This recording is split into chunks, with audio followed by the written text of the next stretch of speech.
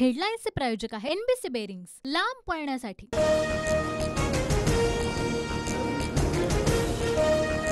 लक्ष्मण हाकेंच्या भेटीला गेलेल्या वडेट्टीवारांचा मुख्यमंत्र्यांना तिथूनच फोन. ओबीसी उपोषणकर्त्यांशी चर्चा करण्यासाठी उद्या सरकारी शिष्टमंडळ पाठवणार मुख्यमंत्री एकनाथ शिंदे यांचं आश्वासन.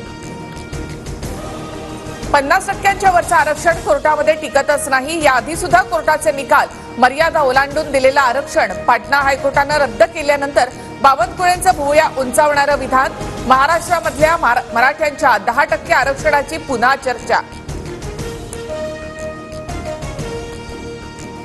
प्रकाश आंबेडकर यांनी लक्ष्मण हाकेंना पाणी प्यायला दिलं. ओबीसींचं आरक्षणाचं ताट वेगळंच असायला हवं आंबेडकरांची प्रतिक्रिया.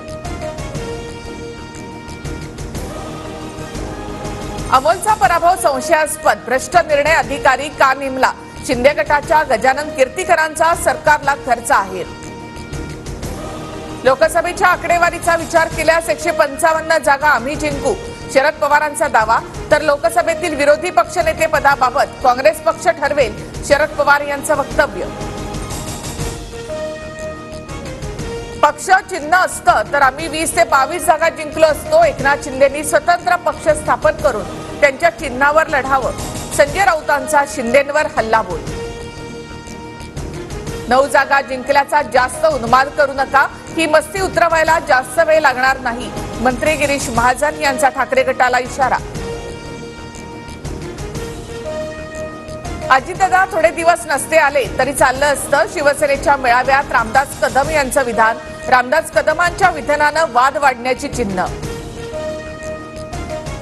अजितदादा वेळेत आले म्हणून तुमची लंगोट तरी वाचली नाहीतर हिमालयात फिरावं लागलं असतं. अमोल मिटकरींचं रामदास कदम यांना प्रत्युत्तर.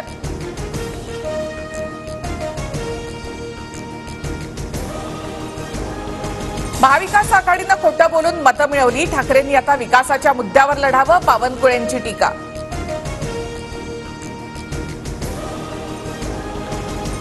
मोदी शहांकडे विधानसभेच्या शंभर जागा मागा नव्वद आमदार निवडून आणू.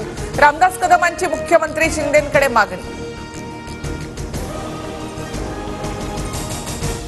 टी ट्वेंटी विश्वचषकामध्ये सुपर एटमध्ये आज भारत विरुद्ध अफगाणिस्तान सामना विराट कोहलीच्या कामगिरीकडे लक्ष.